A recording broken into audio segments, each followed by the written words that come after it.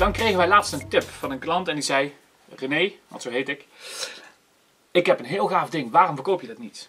Ik zeg, wat? Hij zegt, eh, het is een blokje, ik zal even laten zien. Het is een blokje. Dat geef je aan een toeschouwer en je vraagt een toeschouwer om een getal op te schrijven. Diezelfde toeschouwer geeft het blokje aan toeschouwer nummer 2, die mag ook een getal opschrijven. Die toeschouwer geeft het aan toeschouwer nummer 3, die mag ook een getal opschrijven. En nu komt het, diezelfde toeschouwer geeft het aan een vierde toeschouwer, die het mag optellen. Je hoort het goed, er komt geen goochelaar of mentalist aan te pas. De toeschouwers geven dit blokje door. De vierde toeschouwer telt het getal op en toch weet jij welk getal het totaal is. Sterker nog, jij bepaalt dat getal. Ik ga niet uitleggen hoe dit werkt, omdat iedereen deze video uiteraard eh, via internet kan bekijken.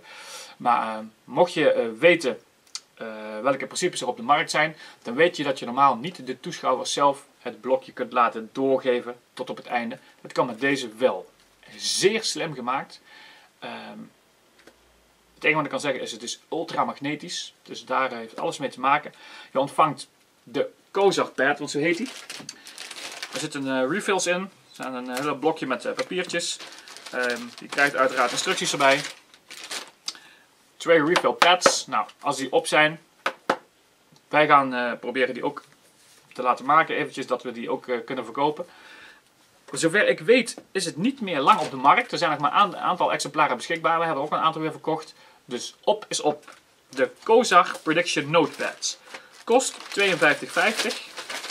En als je iets uh, met mentalisme doet of iets in deze richting wil doen, absoluut een aanrader. Kozar Prediction Pad.